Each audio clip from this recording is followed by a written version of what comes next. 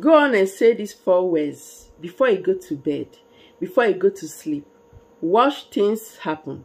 This is a great way to make your request to start manifesting. Have you tried saying these four words? Have you tried going through them? So you have to watch this video. I will leave a link on the comment section of this particular video for the main video of this, telling you four words to say before you go to bed and watch things happen. Use these four words for yourself and watch magic happens.